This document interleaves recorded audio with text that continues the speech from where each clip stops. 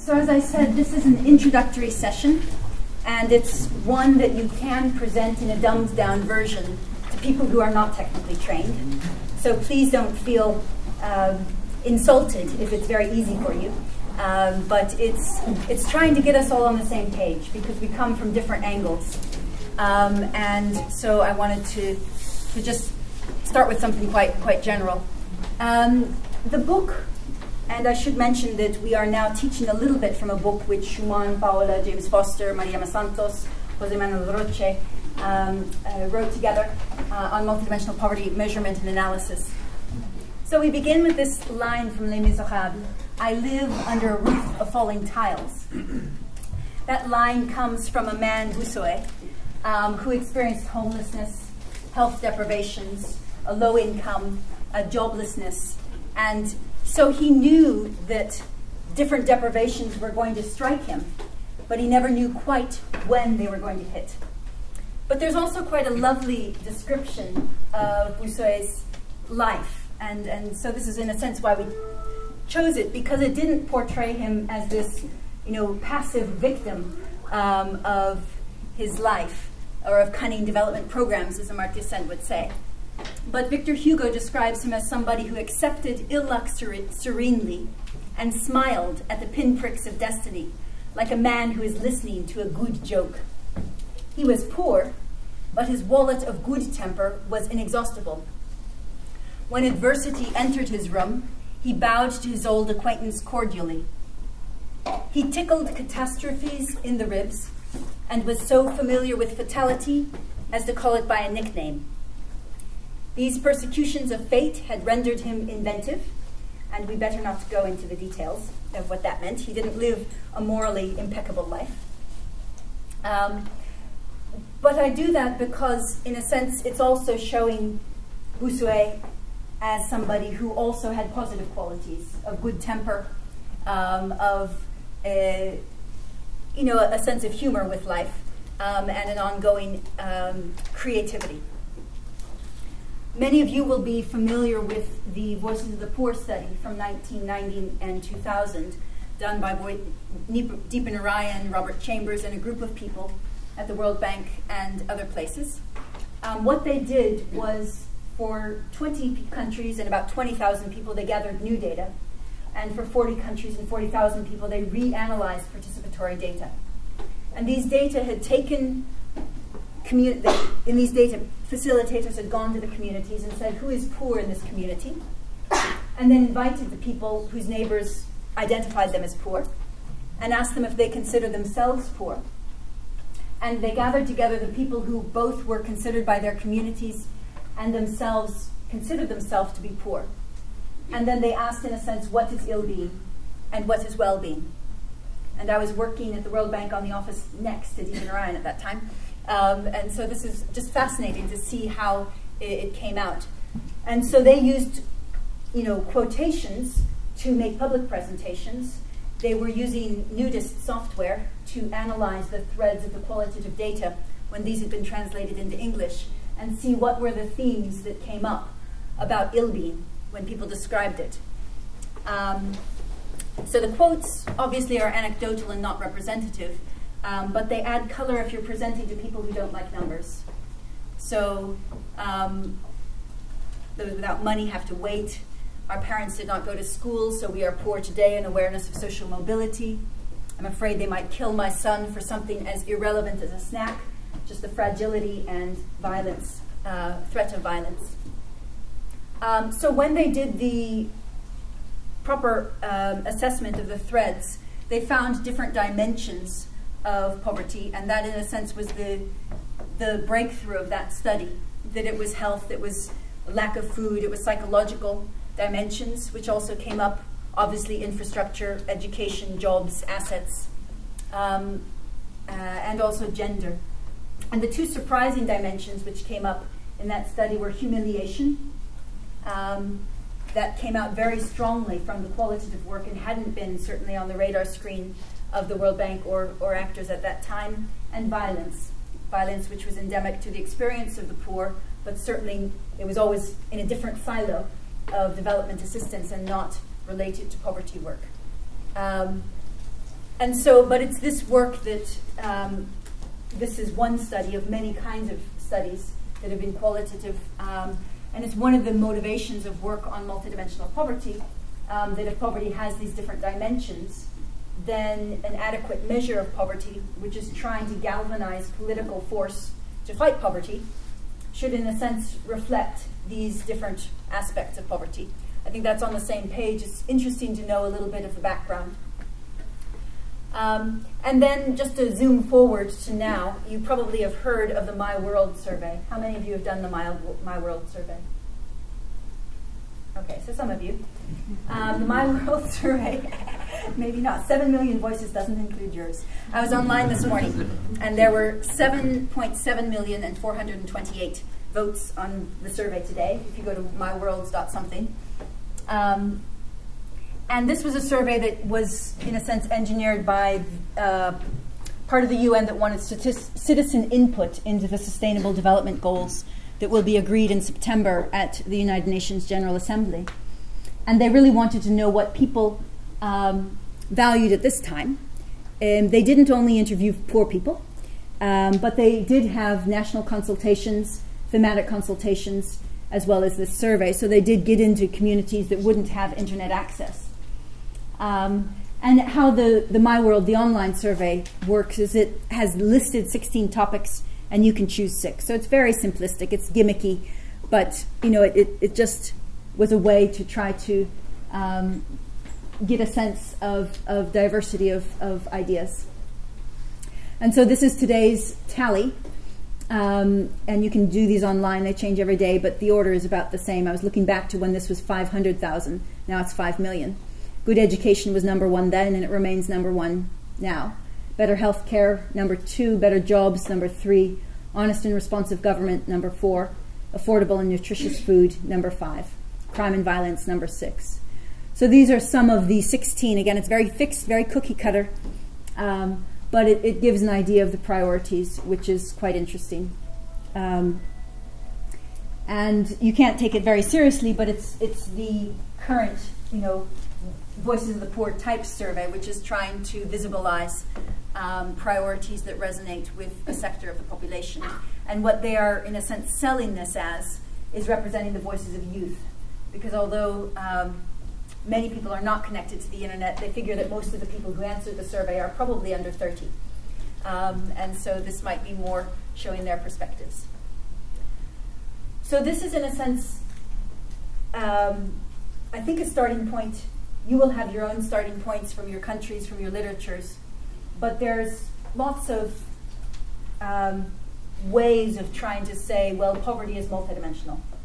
And we'll be talking later about the normative approach, about Amartya Sen's approach. And that is another conceptual framework for thinking about it. You could think about Ubuntu, you could think about human rights, you could think about social cohesion, social exclusion, social protection, the, the socials um, and, and there are other conceptual frameworks to call on. Um,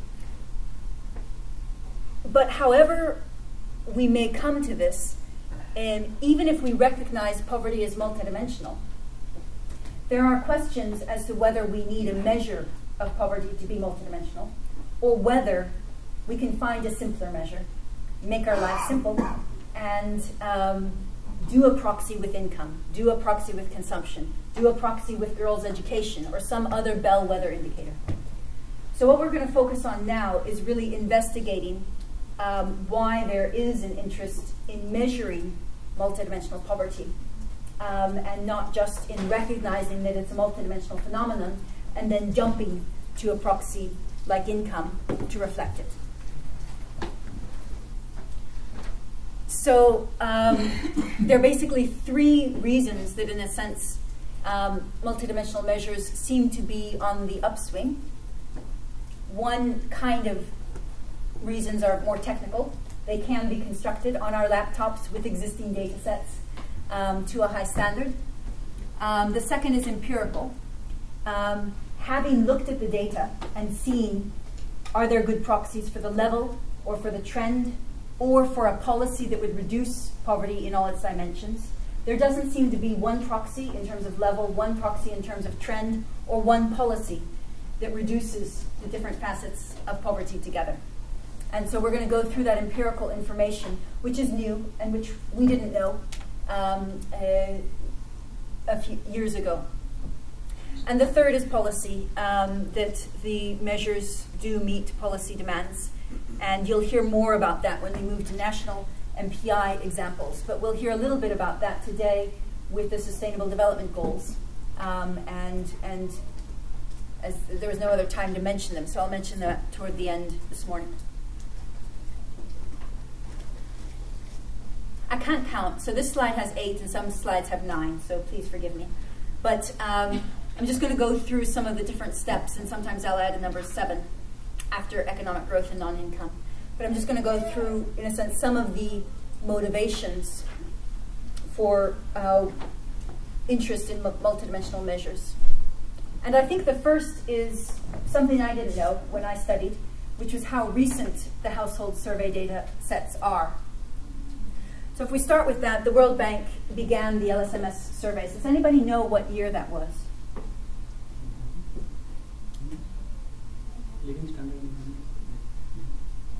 Anyone know?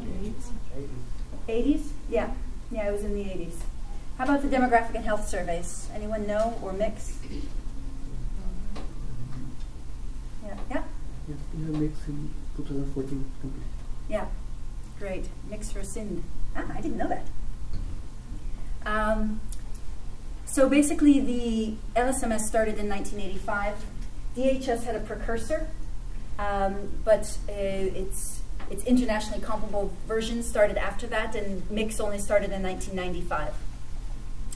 So if we start first with um, household budget surveys, um, surveys that gather consumption or income, um, and that are used um, for comparing co comparable work. Um, and this is in a paper with all the, the micro back ends of, of the surveys that we've inputted. What you can see is that there was not very much, and these are for develop, developing countries, not very much by 1980. And 1985 is really when it started to pick up. Um, and, and that there's an increment uh, of that shape. So the number of countries that have um, monetary surveys for developing countries is now nearly 150, 141, I believe. And then if we look at multidimensional surveys, you can see that in a sense um, they haven't reached 800 because they've started later and the increment has been more slow. So they um, are at an earlier point in a sense in their trajectory um, than the monetary ones. And the, this axis, I wanted to make the axis the same. This axis goes to 800, not 900. Um, and again, it's a few fewer countries. I think it's 127. Um, uh, and this paper is a year old. Um, but that gives you an, exam an idea that basically it's been, you know, since 2005, uh, we've had a lot of increment. And so in terms of the ability to do time series studies with repeated cross-section data, um, there's, there's really a lot more in the public domain. Now, what surveys underlie the multidimensional one? It's the CWIQ, the Core Welfare Indicators Questionnaire, demographic and health surveys, um, a, an international one, the LSMS MICS, PAPFAM for, I think, 17 countries. Um, and so we basically counted countries that had any of those internationally comparable surveys. This does not include national surveys. And national surveys, as you will know, are the key um, tool for national MPIs. They're the key tool that's really valued inside countries. Um, and so I, I want to say that this is very illustrative, and it's simply looking at broadly comparable kinds of surveys. Though they're by no means completely comparable. Um, but there has been an increase in national surveys um, since about the same time. So the um, MECOVI surveys in Latin America were sort of the beginning in, in, in that region, and other regions have had um, uh, national surveys um, coming up differently.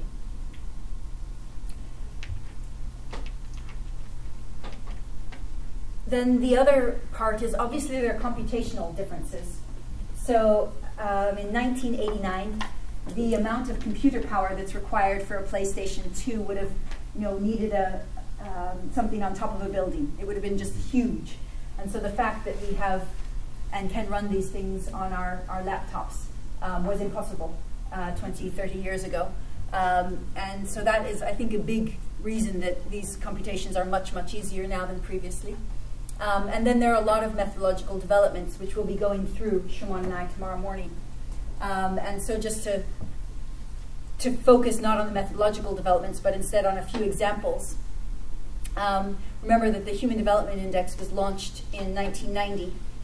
And then since that time, there has been, in terms of composite indices, um, a lot of uh, other indicators that have come out and that are we're not going to talk about in this course further. But there's been a proliferation not only in terms of multidimensional poverty measures, but also in terms of composite poverty measures or um, well-being, gendered governance, um, peace-related, uh, terrorism-related, the new GTI, um, and so on, the happiness ones. So in a sense, the increase in multidimensional poverty measures, which are not technically composite, as I'll explain later, is part of a, a phenomenon of increasing multidimensional measures in different domains. But the difference is that the multidimensional measures, as we'll talk about at some length, um, look at and build from the micro level, look at the joint distribution, which most of the other indices do not.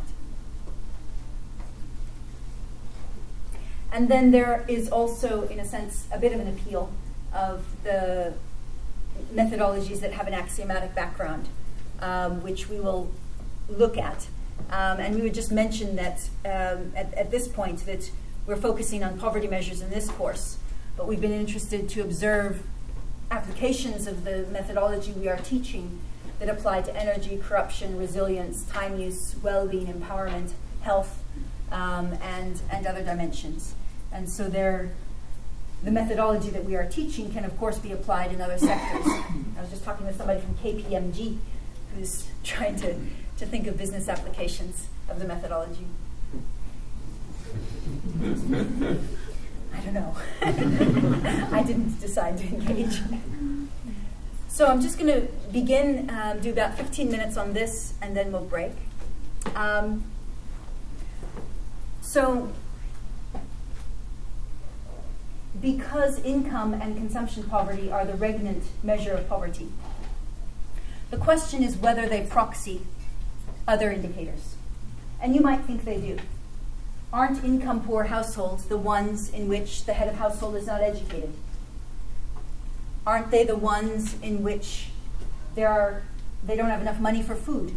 And so one would expect there to be malnutrition in the households because you set often your food poverty line is part of your poverty line. Um, you might think that the deprivations in housing, if a person has money, then of course they would build a better house. They would have more assets. Um, they would have electricity. They would um, have good water and good sanitation because they could put those things into their household. And so if you think about it, you might assume that actually income poverty would be a good proxy for deprivations in other spaces. That's certainly what I was taught when I did my DPhil in economics in the 1990s. um, that was the teaching, that income is a good proxy for deprivations in these other dimensions. I was taught that based on basically correlations of aggregate data because we didn't have these micro data sets um, in the public domain freely accessible to the extent that we do now. But the only way to answer that is not to go to your ideology, but to go to the data and do very, very simple um, construction of deprivation indicators and associations or crosstabs. And I'll begin with this slide because it was, in a sense, this, the table in a book of my supervisor, Frances Stewart, one of my supervisors, that got me interested in the topic. Caterina Ruggeri Laderchi, um, who um, did her doctorate at the same time and worked at the bank, um, she looked at the case of Peru, Ruhi Saith at India, um, Susana Franco at some other countries as well. And they found a mismatch um, between monetary poverty and what they called capability poverty. But really, what it means in this is that um, for children, it's children out of school. For adults, it's adults who are illiterate. For children, it's children who are malnourished. And for adults, it's adults who don't have access to health care. So what does this mean? It means that 43% of children who were out of school did not belong to households that were poor in monetary terms. in India. And one third of children who were out of school were not living in income poor households in Peru. And flipping that around, looking at the positive side, they found that in India, 65% of the children who were living in income poor households were going to school. And 93% of children in Peru who were living in income poor households were going to school. And just to continue with children, this is the easy one to remember 53% of malnourished children in that study were not living in income poor households, which was the big surprise. And on the positive side, 53% of children living in income poor households were not malnourished. Now, for a person who's been taught that income poverty and malnutrition walk step by step because we are using the food poverty line, this comes as a bit of a shock and certainly awakening and certainly makes you curious as to why this is. And we need qualitative data to know why. And I'd love somebody to tell me um, with more qualitative data. Um, but it also means that we perhaps need to explore this question more. Now, moving over into Europe, um, there has also, since the late 60s, early 70s, been a literature on counting. And they've been particularly interested not in anything as dramatic or revolutionary as health or education, but in the relationship between income poverty and asset poverty, which they call material deprivation. So um, these studies have been done um, by some of these authors since the 1990s. Um, and if you want a review of this, I really recommend Brian Nolan and Chris Whelan's 2011 book, Poverty and Deprivation in Europe, which lays them all out. Um, and we learned a great deal in writing our book about that literature from their book. Um, but let me explain this. This was now using um, panel data, the ECHP, European Community Household Panel Survey and they identified somebody as persistently income poor, they knew from the European literature by then about these mismatches. They knew that people who were income poor were not asset poor, and vice versa. Um, so they thought, well, maybe it's a, a, a problem of lag. Maybe it's that if you're income poor in this period, then you'll be asset poor in the next period. So looking at simultaneous snapshots is bringing in disturbances. So they said, okay, let's call you persistently poor if you were deprived in three out of the past five periods. And so they found that roughly over these nine countries, 20% of people were persistently income poor, and 20% of these people were persistently deprived in material assets, which are things like not being able to go on um, a, a holiday, not being able to eat meat, fish, or the vegetarian equivalent, not being able to um, have more than one pair of shoes, not owning a washing machine, um, those kinds of asset variables, things that with good market penetration in Europe, money can buy. So about 20% of people were poor in both across these countries.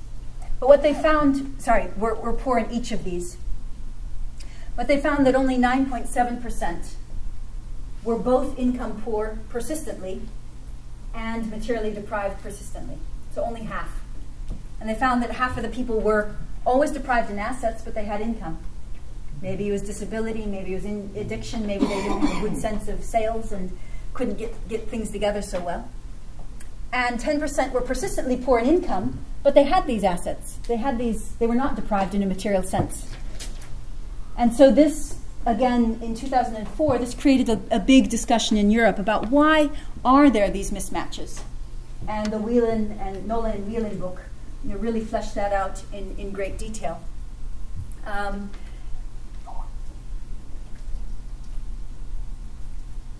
so this conversation, you know, if you fast forward it forward till now, I don't know how many of you have heard of the EU 2020 Poverty Index.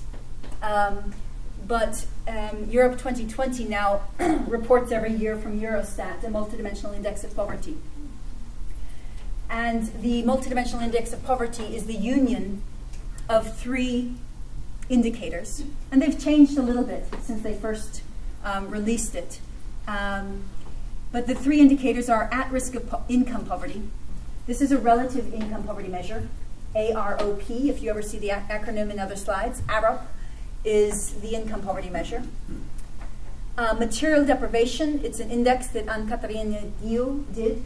Um, there's one version before 2009, and another version has recently been accepted uh, for severe material deprivation by Eurostat. And then the third is joblessness, now called quasi-worklessness. Um, but it's a combination of unemployment and underemployment um, and discouraged un unemployment. Um, and so these are the, this is a, an early, this is from the Atkinson 2010 paper that in a sense launched the, the measure in Europe. Um, and these are the percentage, no, these are the millions of people um, who experience the different kinds of deprivations. And what you see is that again, the intersection, the people who have all three kinds of deprivations, is a small minority of those who experience one or the other. And so this is an example also of a Venn diagram looking at the overlapping deprivations in a visual term. So the whole European measure is the union of these. Um, but clearly by this Venn diagram, you can see who's poor in just one, in two, and in all three at the same time. And so if you go on the Eurostat website, um, you will see that for each country. Um, it draws on the EU SILC dataset. Um, and uh, the, the EU SILC data set has both panel and cross-sectional versions. Um, in some countries it uses registry data, in others uh, household survey data.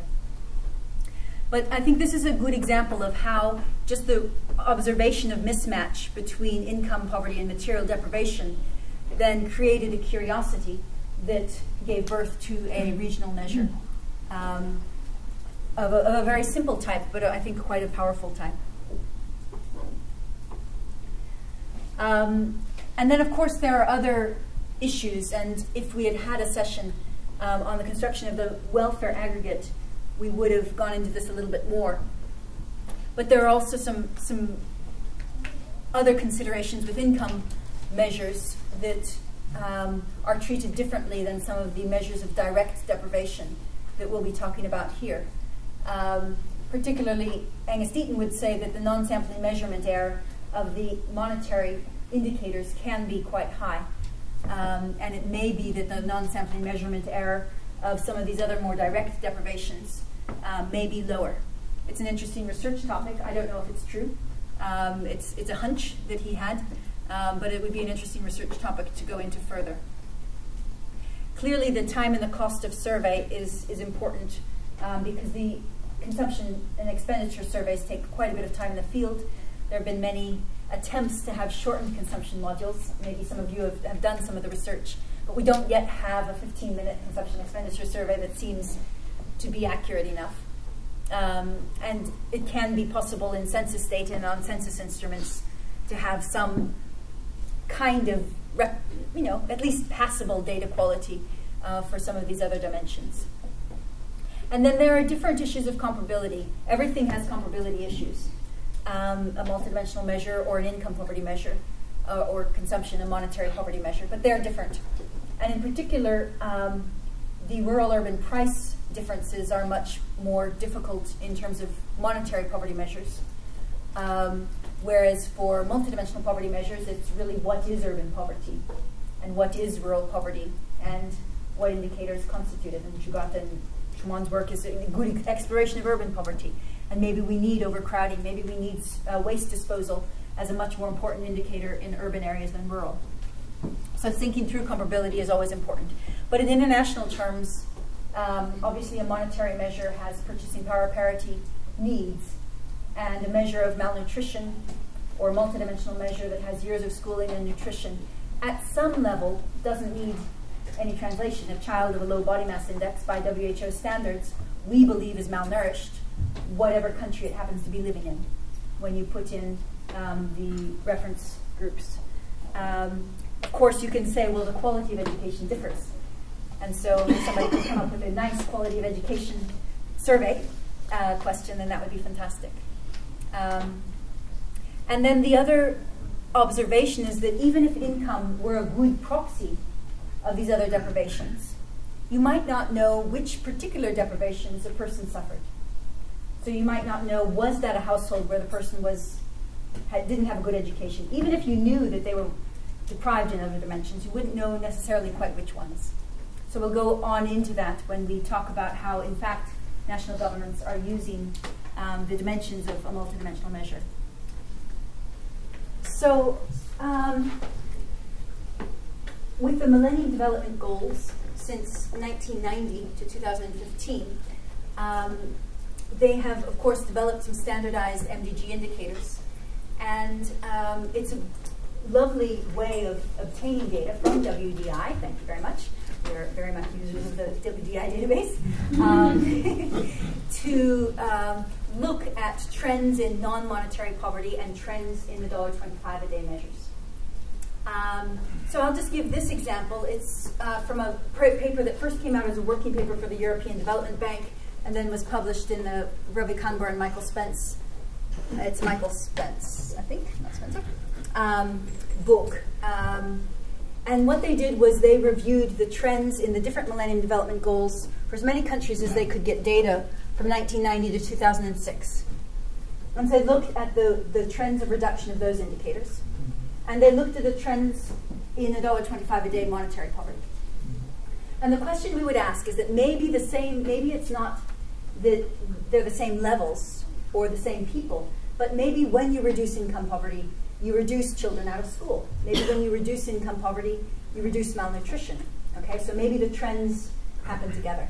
And if so, then we can look at the trends in income poverty measure and go home, and we don't need uh, to stay and worry more about multidimensional.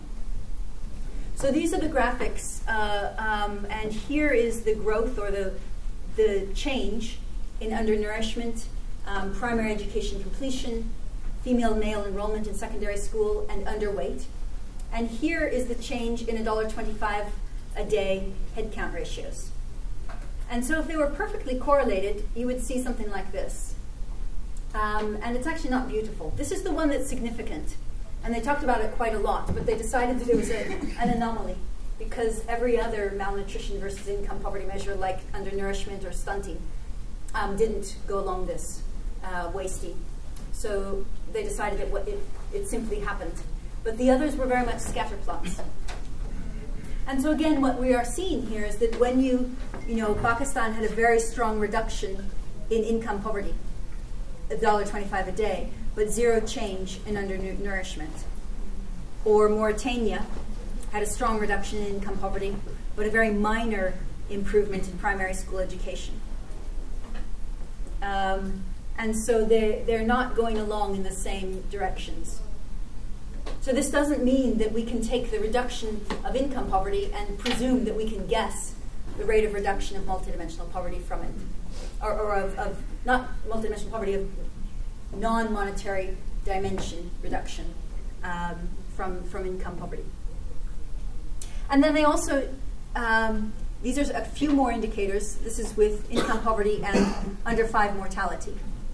But then they also looked at the indicators among each other. So this is under five mortality and the gender ratios in secondary education, or primary education and gender ratios, or under five mortality and primary education.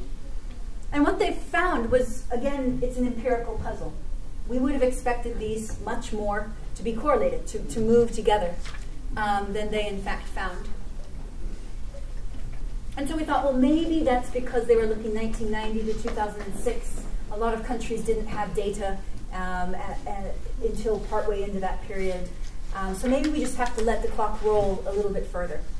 So in chapter one of our book, we present an updated analysis where we went from 1990 to 2012. And we also make, made better scatter plots with the population size um, just so that you appreciate this beautiful work.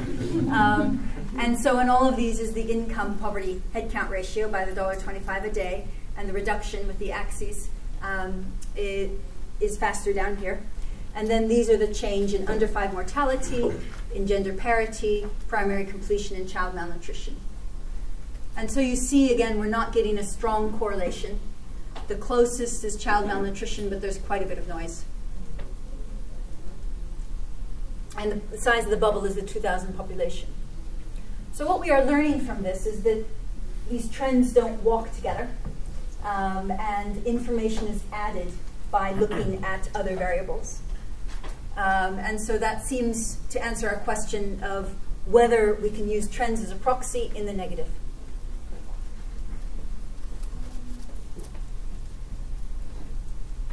So let's go a little bit further into these non-monetary deprivations. Yep. Sorry, just a quick question. Um, I assume it has, but have you looked at these kind of things with regressions and accounting for a bunch of other variables? And, yeah, the In, yeah, these are very, very crude. These are just descriptive Yeah. and work in progress. Okay. Um, so associations across non-monetary deprivations. Um, going back to the Bourguignon, um, uh, Bourguignon et al. slides where they were looking at the different indicators vis-a-vis each other. It might be that income poverty doesn't track other dimensions, but it might be that one indicator is a good reflection of the others. Um, and so let's let's look at that a little bit more. Let's and for example, there Lawrence Haddad at IDS Sussex said, "We just need a bellwether indicator. Let's try girls' education. Can't we just choose one indicator that we think is really pivotally important and that's a good predictor of the other indicators um, in level and trend? And why don't we try to look for that? And so we've tried to look for that again because." Um, economists always want parsimony. We want the least information that we require, um, but the most that we need at the same time. So let's just start with one country and one example. So this is the NFHS 3 data set in India. And we're using MPI indicators. And so 25% of households, people live in a household where a child has died, and 18% of households live in a household where nobody has five years of schooling. And we would accept, expect a high association because uneducated parents may not know to breastfeed the children, may not know to give clean water, to boil the water, they may not know the proper prevention of infectious disease. But when we do a simple crosstab with weights, and you'll be doing this yourself, um, we see that only 5.8% of the population of people live in households that have both lost a child and have nobody in the household who is deprived in, or who has achieved more than five years of schooling. So in 20% of the population, they live in a household where a child has died, but somebody in the household has more than five years of schooling. Um, and so that's a mismatch.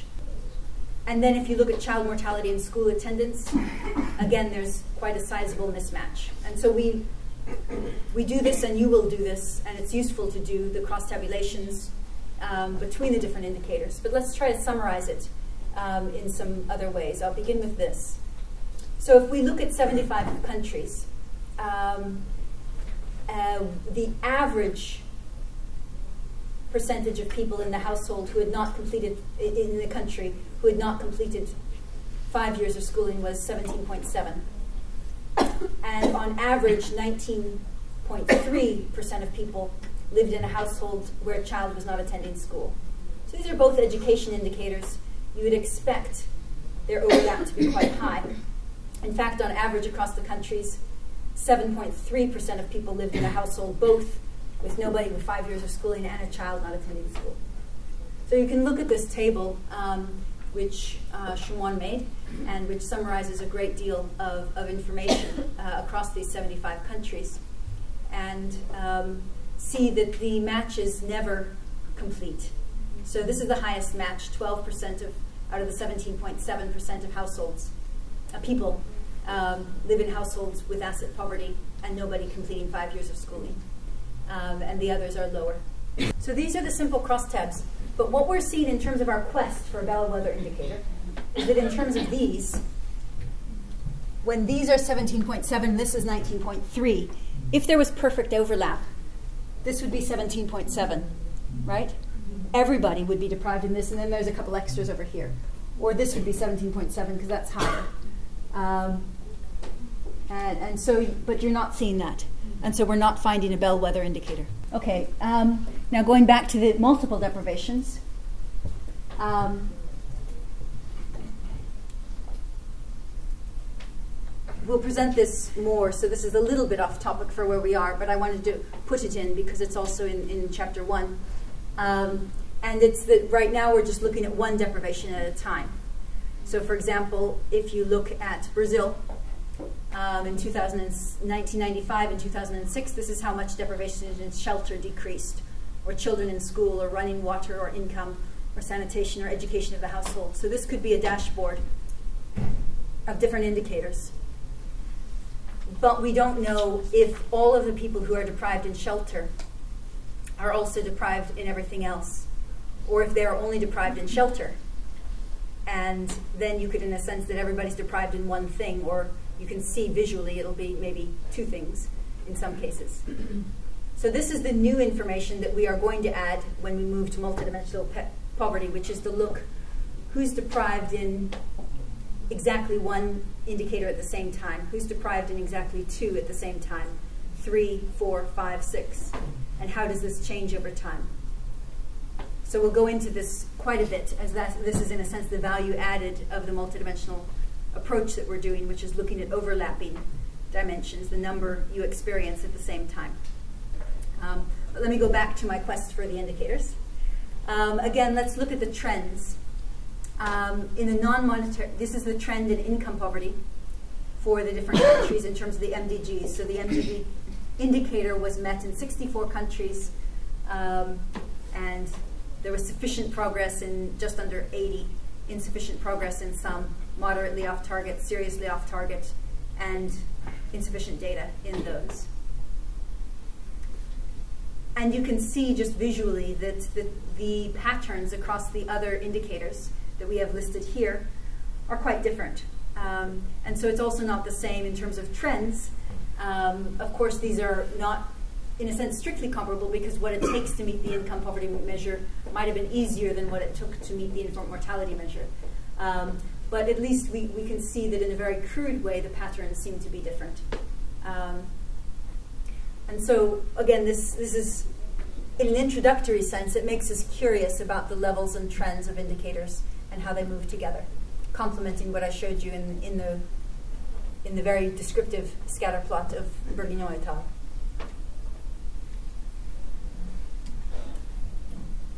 So then let's move back. We've talked about levels, we've talked about trends. Let's move back to policy. Because it could be that these levels and these trends are different, but that the same policy, and in particular economic growth, is going to lead to a change in both of the indicators. And so in a sense, let's forget the measurement, let's really focus on policies, let's focus on getting growth right. And then, however we measure poverty, we know it will go down. Okay?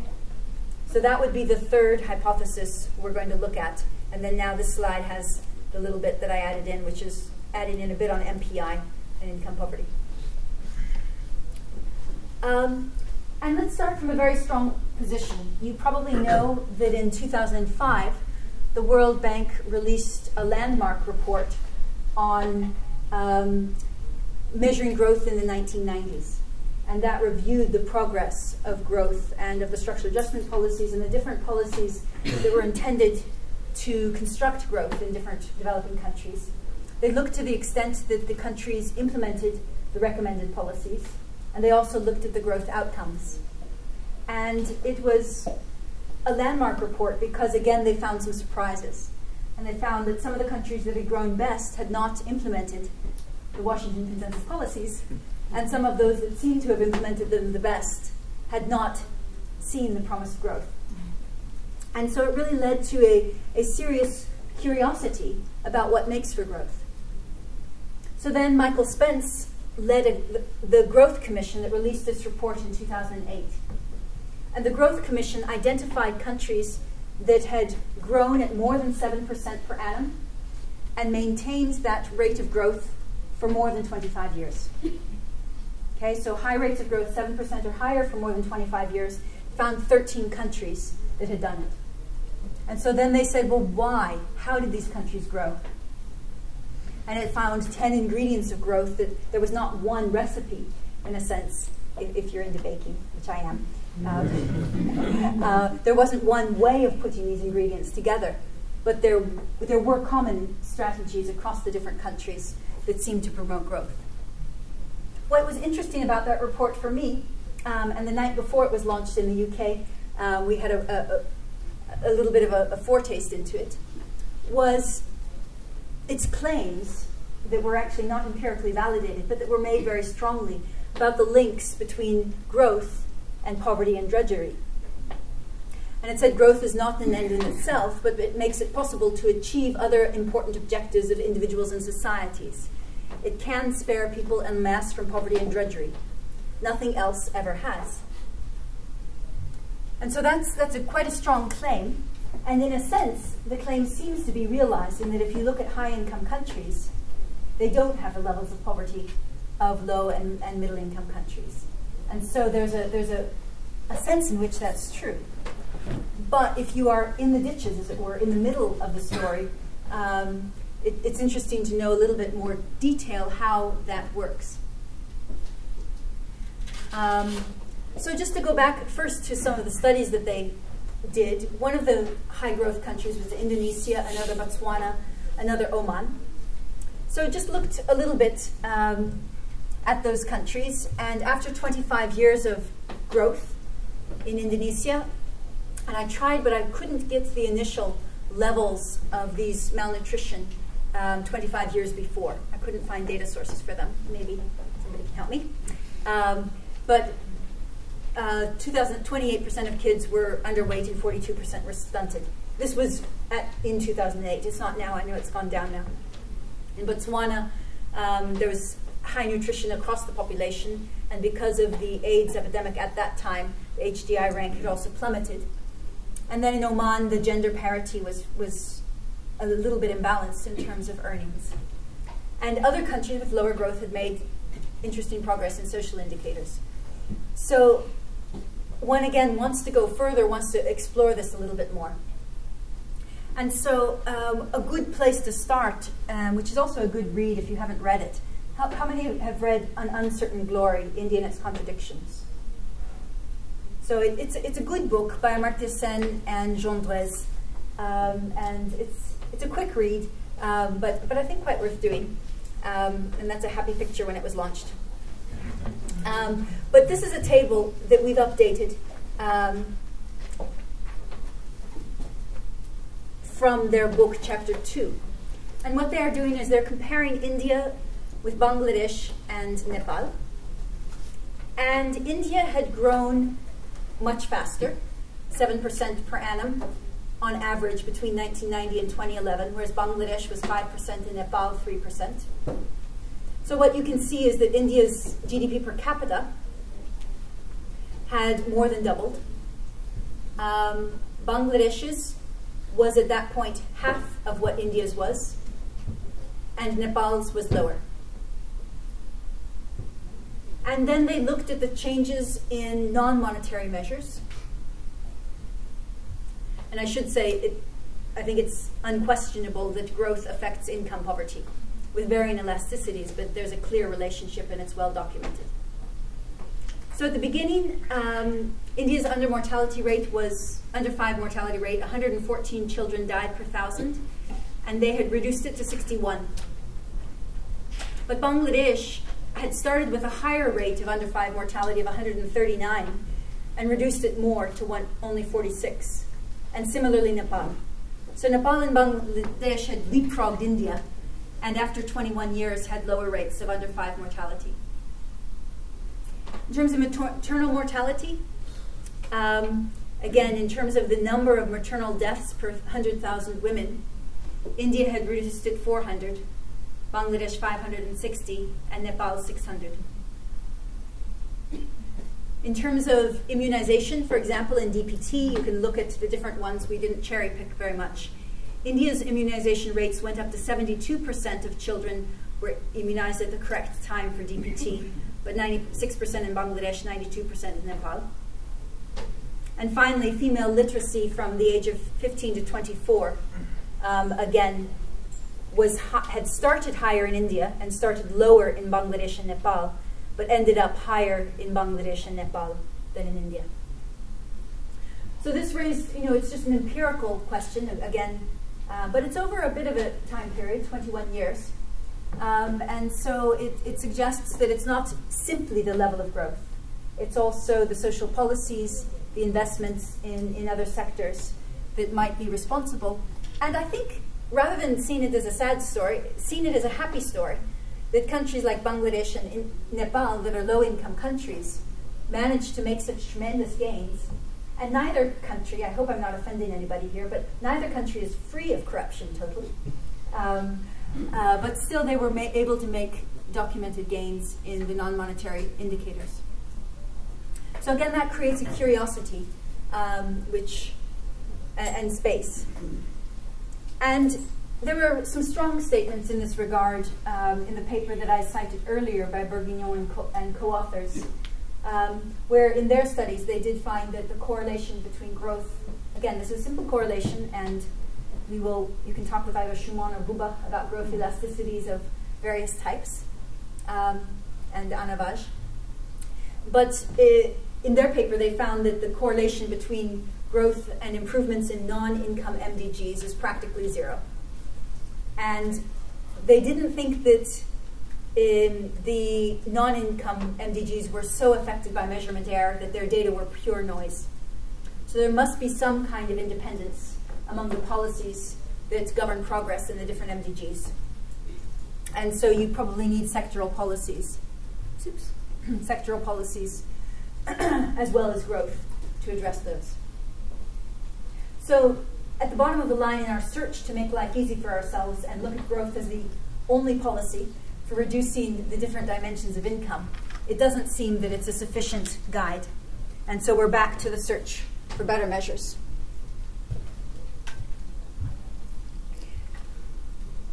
So in the last um, section of this part, um, I thought that I would just show, I know this is leaping ahead a little bit, um, so I won't go through actually how these different measures are constructed. But I thought I would show you a little bit of the relationship between income and multidimensional poverty indices. Where these multidimensional poverty indices I will show have different indicators in them. Some of them include income inside. They are research projects, they are papers, they are the global MPI. But I wanted to go with one last question, which was to say, if we put everything together in a multidimensional poverty index, are we making income obsolete? Are we then actually getting the same information that we might get with an income poverty measure? So is it the same, the matter that a multidimensional poverty index would be a standalone measure um, and replicate the information from income poverty? And we're going to ask that same question in terms of level, uh, trend, and growth. So we're going to look at when you compare the MPI, which is basically a poverty gap and adjusted headcount ratio, and income poverty, you have to use the headcount ratios. So you're comparing headcount ratios and headcount ratios. I know tomorrow we're going to tell you why not to use the headcount ratio, but today we are, okay? So just forgive our hypocrisy. And then we're going to look at the trends, then the micro match um, of who's poor by the different measures, and then rates of growth and MPI reduction. So just focus in a little bit, fast forwarding to when you have made an MPI and see are you still going to add value to an income poverty measure if income is not, or if income is in the MPI. So let's start just with a descriptive. This is the headcount ratios of poverty by multidimensional, which is pink, and income, which is blue in Bhutan, according to their districts. And they are ranked in the level of multidimensional poverty. So what you can see is that, again, they don't walk in lockstep. So Gasa is quite interesting because it's the country with the, the, the district with the highest level of MPI and hardly any income poverty. Mm-hmm. And the reason is that they have something called cordyceps. Who knows what cordyceps are? I didn't either. But it used to be a caterpillar, and now it's a fungus in, that goes inside a caterpillar, and it has properties for cancer and other things. But it's part of Chinese traditional medicine, as I understand it. And what you do is you go up on the mountains in the tundra, in the extreme cold, and you pick these things at a certain season of the year. Um, and then you sell them at amazingly high prices. And that's what they do in the high tundra of Gasa, which only you know, is inhabited by yaks otherwise. And so they have lots of money. But I was with the Bhutan GNH team when they had just done the latest GNH survey in, in Gasa, and it was 11 days walk um, to reach Laya. Um, so there's no roads, there's no hospitals, there's no schools. So the social facilities are, are, are not present. And so it's an example of, of really the mismatch. What one captures is income, and that's true. And it means they can buy lots of rice, they can go to Punakha, and they can, you know, enjoy a good life. But then when they go back, you know, if they have a health catastrophe, if their kids uh, need schooling, they, they can't do that.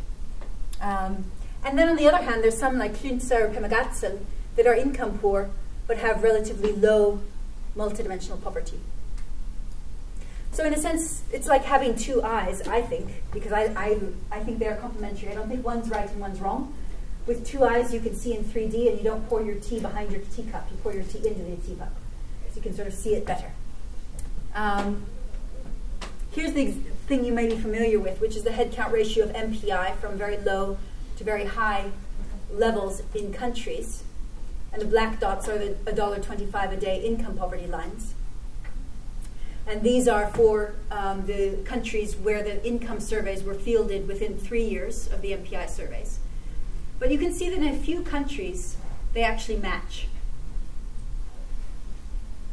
And a lot match down here with low poverty. But then there are some that don't. Um, there's some that are really different. Um, and so it, it may be data errors, it may be, but it also may be that using the measures together gives you a better oversight uh, of what's going on in the countries. But clearly, you're not replicating the information. So to go back to our question, are you adding information by doing an MPI? And the global MPI doesn't include income. Bhutan's does not include income. Um, it does seem that it's not the same information that's presenting. If we look at trends, so this is the rate of reduction of the head count ratio of multidimensional poverty in brown or maroon and of income poverty by $1.25 a day in orange. And for Nepal, they're the same. I thought there was another. They're close in Pakistan. But in many of them, they're different. And in some cases, multidimensional poverty is higher. In Rwanda, for example. And in some cases, like Niger, Ethiopia, Indonesia, Mali, income poverty reduction is higher. So the trends, again, are not they're ordered in terms of MPI, but the biggest reduction in, in income poverty was in Niger, which hardly reduced its MPI between 2006 and 2012, but these are analyzed, analyzed data. So we're not replicating the trends. Again, um, in the tables you can see, well, for income poverty we don't have statistical significance, we don't have standard errors, but for MPI you always need to check it with the standard errors to see if it's significant. But I don't know how to do that for $1.25 a day. And then we can go within countries. This is work Suman and I um, have done. And so uh, it's a regression um, looking at the change in the monetary headcount ratio and per annum. And the, the, they're not exactly the same years, but they're a similar time frame and the starting level of, of monetary poverty. So these are the places that had high monetary poverty, and this is their rate of reduction where down is better, so you, it's a race to the bottom, so the faster is better. So you see that in monetary terms, um, the poorest states had a faster reduction in monetary poverty than the least poor states. So this is Manipur, that's Mizoram, just to give examples.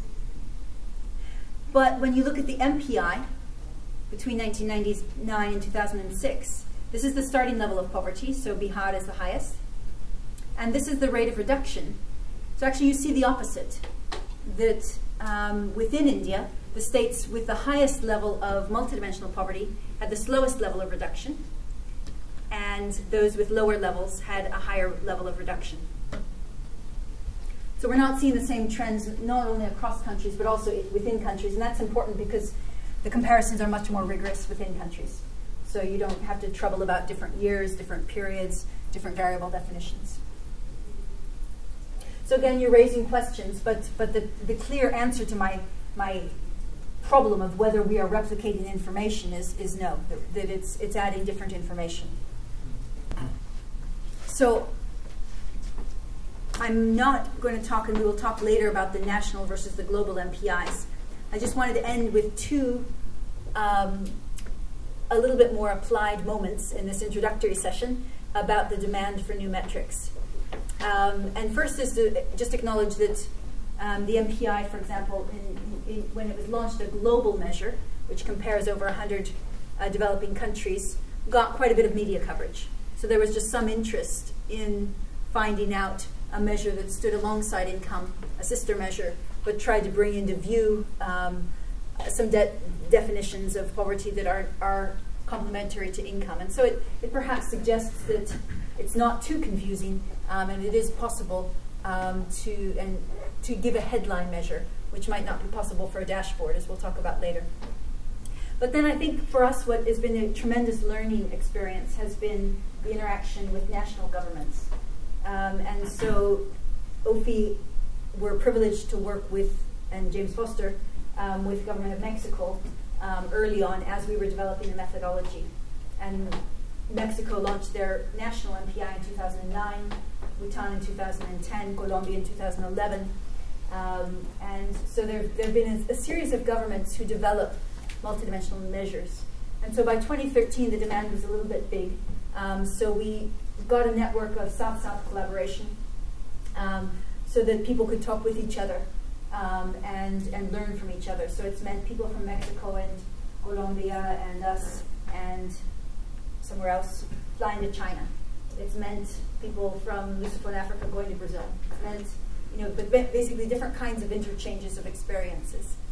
And so there's a network, and, and the problem with these things is, is that then they go and launch themselves in places that are not poor, like Oxford.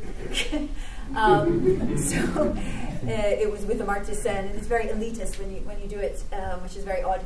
But um, it's basically tried to bring elite people, so ministers, heads of states, um, vice presidents, together, and to give them a forum to really talk passionately about poverty and think about how to use measures to reduce it. So these are not necessarily the statisticians. There's some statisticians like Pali Lehohla from South Africa, fantastic dynamic person who's involved.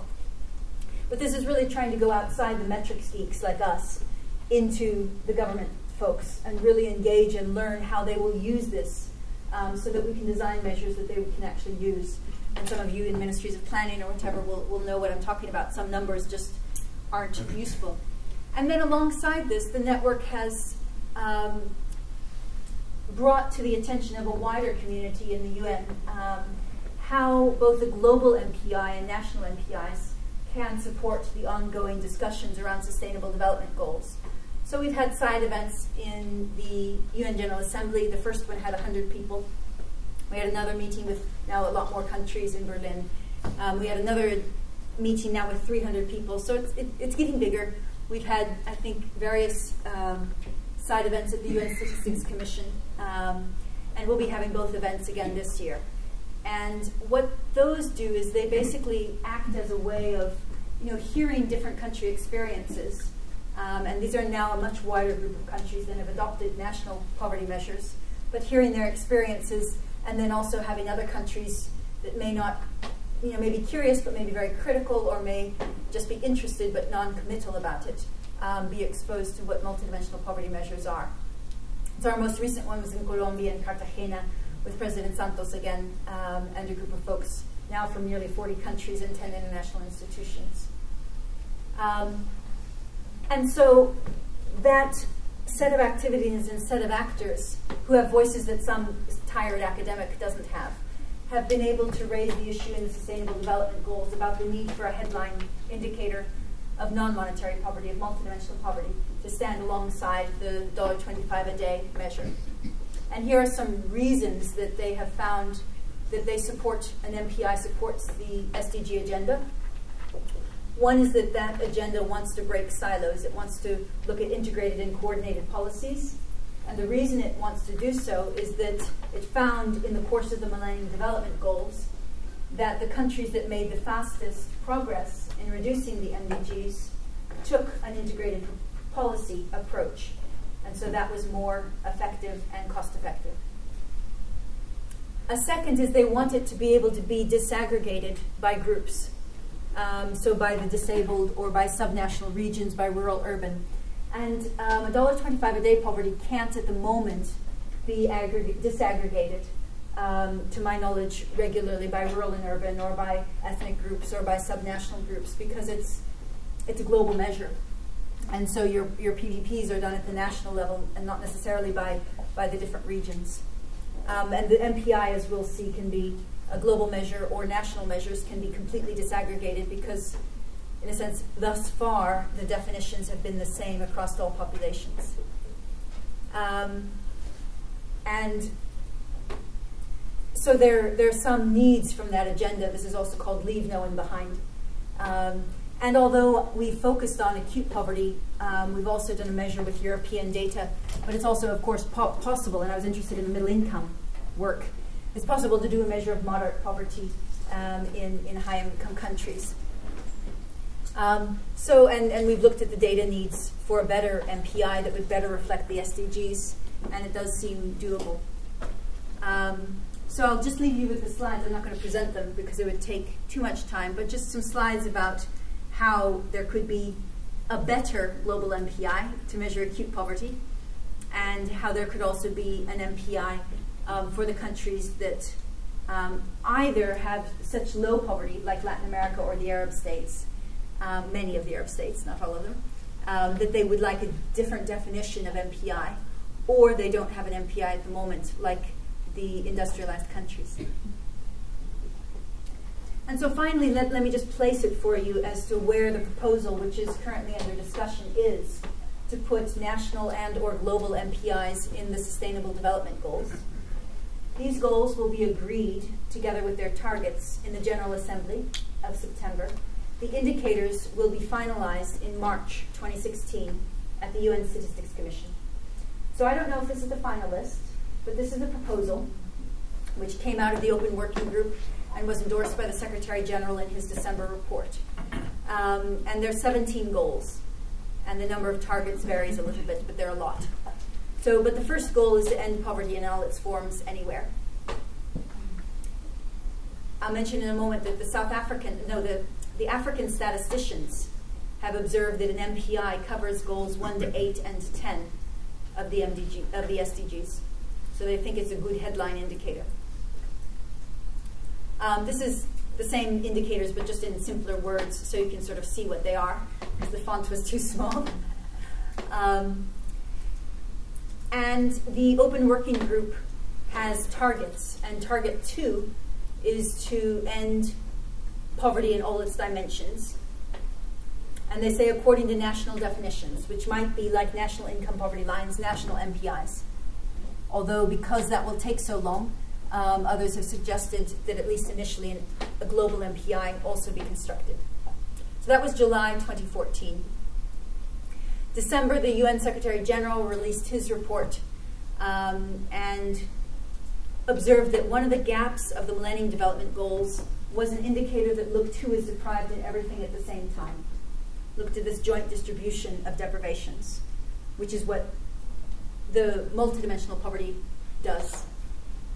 And he suggested that that needs to be that needs to fill the gap uh, of measurement in the SDGs, and that when we think of funding to countries, it should also consider MPI, not just income poverty, and that in particular poverty measures need to reflect the multidimensional nature of poverty as well as income poverty.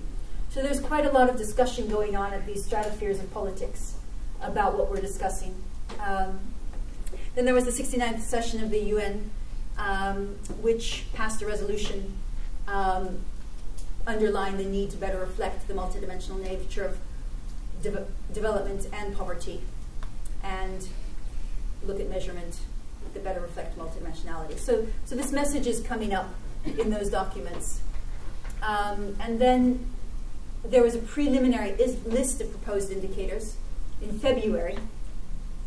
And this included an MPI, um, which was actually more of a global MPI. Um, and also um, it mentioned that capacity of countries was even uneven and that if we were going to make an individual rather than a household-based MPI with the, that as the unit of identification, you need individual le level record data. Um, in May 6th, there was a financing for development report again, which argued that the UN need to better measure and um, recognize the multidimensional nature of poverty. Um, and then the Sustainable Development Solutions Network, which is the group by Jeff Sachs, which reports to the Secretary General on measurement, has in all of its reports proposed a global MPI um, to measure target two of the SDGs. And they actually suggest it should be very similar to the existing MPI. They're not very revolutionary, whereas we wanted you know, gender and work and violence and different things to go into it. Um, they would like something very much like what already exists. Um, so they wanted to drop flooring of housing and have the other nine indicators. And then there's a, a this group in South Africa in, in May 2015 um, that also proposes uh, an MPI. Um, and as I mentioned, articulated as reflecting some of the SDGs. There's a draft list of indicators which will be launched, which will be released on August 11th um, from the interagency working group that's going to finalize the Sustainable Development Goal indicators. So I just thought, although we are now going to ignore all of that world and focus on the techniques, it's good to know that that world is existing and talking and may give you a job, you students, um, in the future. Just because it's, it's quite an interesting time, and we don't know how it will go. Um, we don't know what role OPHI would have, what role national governments will be called upon to have. Um, but it's, it's certainly a time where these issues have a wider life than just in the kinds of heavy academic books that we work on. So that's what I wanted to present, and, and finally, because I like the book, um, end with a, a quote that clearly the reason we do this is not to get in some international list and not to get a measure, um, but it's uh, to to support actions that actually fight poverty. So that's hopefully all of our personal motivation for being part of this.